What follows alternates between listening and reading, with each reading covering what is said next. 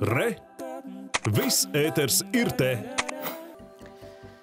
Ekonomisko lietu tiesa attaisnojusi visus apsūdzētos otrajā tās augtajā digitālās televīzijas krimināllietā. Attaisnoto vidū ir bijušais premjers Andris Šķēle un bijušais satiksmes ministrs Ainārs Šlesers. Tiesnesis Kaspars Vecozos, ka svarīgi iemeslu attaisnojošam spriedumam minēja to, ka kompānija TET, no kuras prokuratūras ieskatā izkrāpti 3 miljonu eiro, sevi par cietušo neuzskata. Prokurors tagad plāno spriedumu pārsūdzēt. Par to plašāk stāsta Māris Klūga. Otrās digitālās televīzijas krimināla lietas pamatā ir prokuratūras uzskats, ka 2008. gadā satiksmes ministrija Ainārs Leser vadībā pielāgoja konkursu par digitālās televīzijas ieviešanu Latvijā vienam pretendentam - ar Andris Čēli saistītajai kompānijai Hannu Digital, kam piederēja vajadzīgās iekārtas. Konkursā uzvarēja La Telekom jeb TET, kas Hanu Digital piesaistīja kā partneri un noslēdz ar to līgumu. Prokuratūra uzskata, ka TET par pakalpojumiem Hanu Digital esot pārmaksājis vismaz 3 miljonus eiro, no kuriem daļa nonāca šķēles kontā.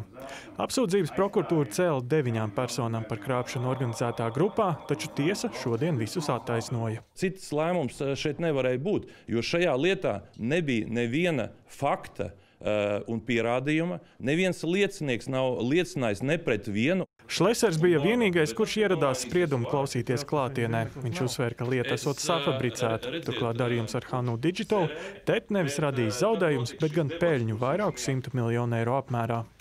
No šīs peļņas Latvijas Telekom Labuma guvējs bija arī jūsu biznesa partneris Šķēlis. Kungs. Ziniet, es eh, negribu komentēt, kurš šajā valstī gūst peļņu, eh, kurš negūst. Visi uzņēmēji var gūt peļņu, bet tas, ka šajā gadījumā viss ir attaisnoti. Tas nozīmē, ka tiesa ir iepazinusies ar visiem argumentiem un, un nolēma to, ko nolēma. Pēc tiesas sēdes tiesnesis žurnālistiem teica, ka Šlesera laikā tapušajā konkursā Hannu Digital tiešām bijušas milzīgas priekšrocības, taču krāpšana konstatēta nav.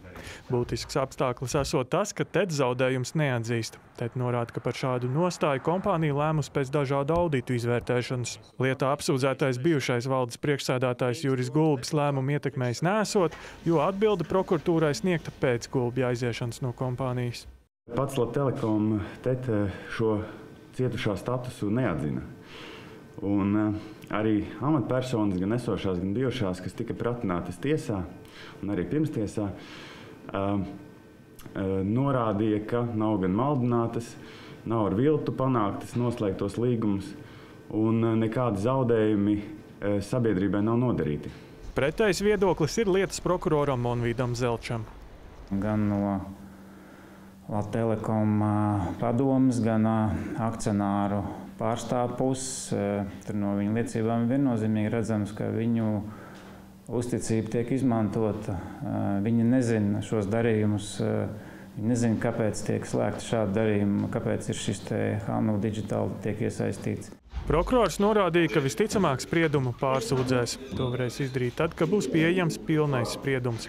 Pagaidām noteikts, ka tas būs gatavs 24. februārī, tomēr tiesnesis brīdināja, ka termiņš visticamāk tiks pagarināts. Māris Klogi, Ivans Milovs, Latvijas televīzija.